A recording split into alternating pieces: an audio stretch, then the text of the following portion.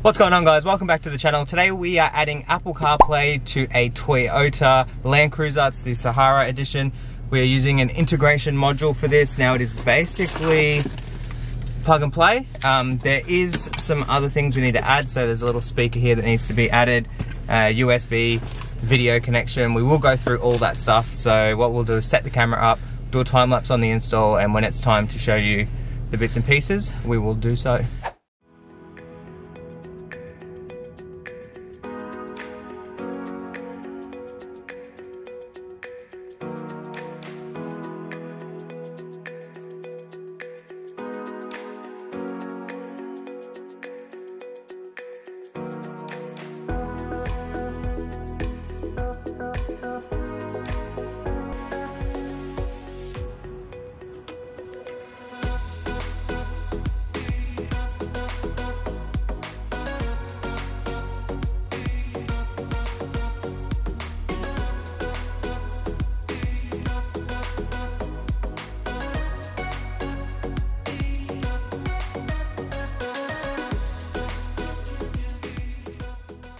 All right, now that we've got the radio removed, we can look at some of our wiring. So this is one of the main things. We've got the plug and play loom.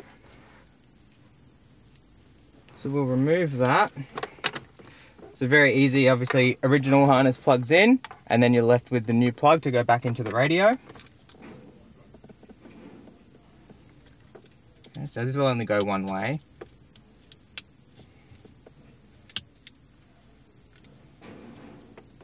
All right, looks good. Um, so that goes back to the factory radio, and then we've got some more harnesses here. So we've obviously got one that goes to the module, and we've got another one here. Now this will probably go up at the screen. No, it doesn't. It goes right here. Okay. Easy, easy. Now we can run these to our module, so find somewhere that we like for the module. Alright guys, so that's pretty much what gets done behind the radio. Um, up here behind the screen, we can mount our module pretty much right there. There's still plenty of room for the screen. Now we've got another, this is the video cable, so we're just gonna go original in. Alright, again it will only go one way. There we go. So that will go to the screen now, and this will go to the module.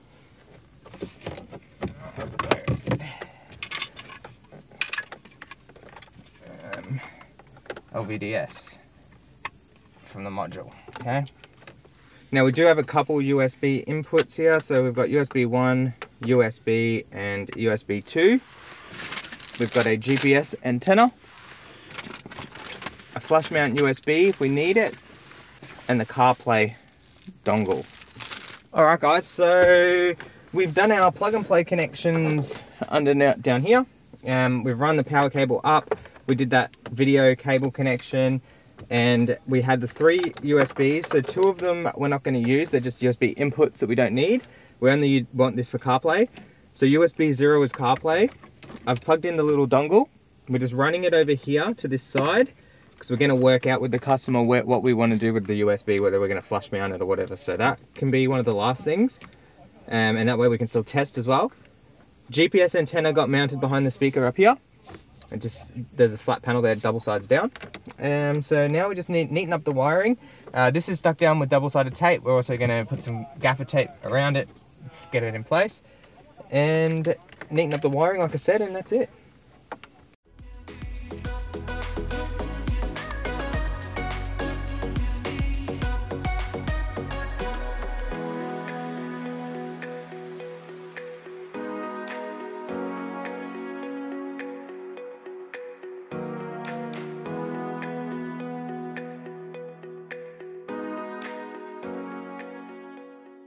So before we go too far, we'll get the screen and the radio back in and we'll just do a little bit more um, testing and yeah, see how it goes.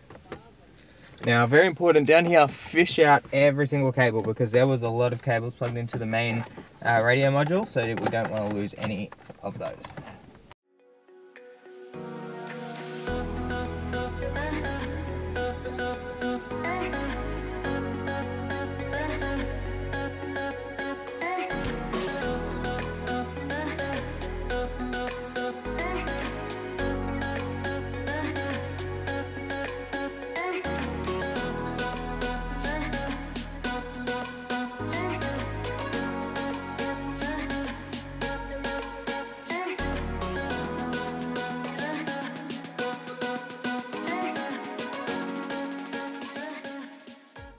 All right, before we go too far, let's do a little test.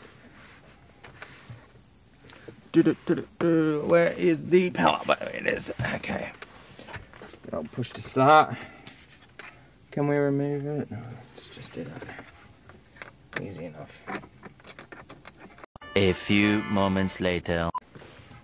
Alright, so far so good.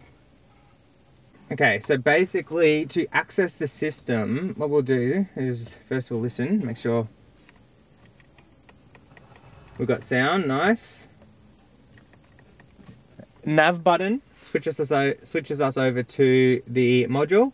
Um, then we can skip that, go home. And so now we've got our Android device, so you can use MirrorLink, okay, easy connection it says here. Um, apps. Okay, now what we need to do is, so look at all the apps that it has built in. Uh, none of these are actually CarPlay or Android Auto, like Google Maps and all that. So what we need to do is plug this in. I'm hoping we can just do it from this USB, but I doubt it's going to work. So what we're doing now is installing the CarPlay app. Okay, so now that's done, all we need to do is plug in our phone. We should have CarPlay.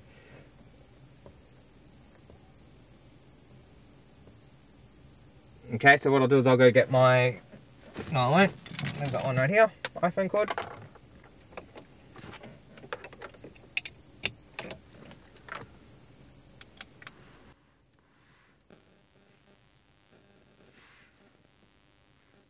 Boom. There it is. Apple CarPlay in all of its glory. Now there's a bunch of settings we can go through, so I'll actually get all that done and then we'll check back in. Alright guys, bit of a recap. So screen is now in, we've still got to put the screws in. Main radio module is in. Um, now I just was I was just working some magic on the USB side of things. So what we've done is right in there you can still see where we've had the USB connector okay so it's mounted taped to that loom to a loom right in there and the plug is right there so it's accessible by removing that vent and what I've actually done is custom mounted the USB for the CarPlay right here so that used to be a 12 volt socket now it is CarPlay and our customer said that he definitely won't be using this one here. There's like another three of them right at the front of the car, so all good. Um, and yeah, so what we're going to do is we'll do a time lapse and putting this back together and we'll see how it works.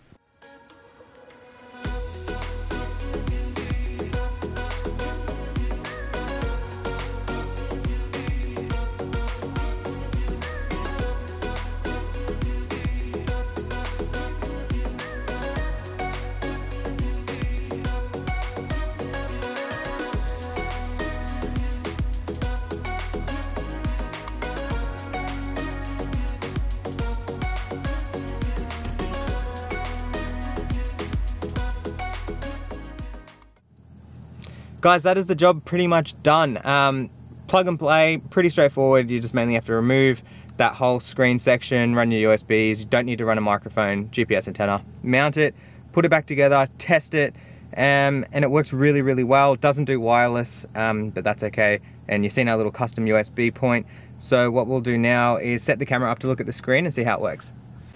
So as we see, we have full functionality with the factory options in the car. You've got audio, you've got maps, everything works as it should. If we press and hold this nav button, it will bring us into Apple CarPlay. Now we've already got our device plugged in. From here, you can pretty much put your phone away and everything will work to the factory touch in the car. So we've got apps like WhatsApp, Waze, Spotify, Google Maps, Audible, Amazon Music all work.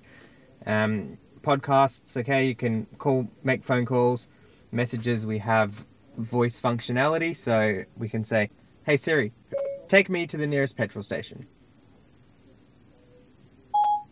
The nearest one I see is Barry Street Lunch Bar on Barry Street.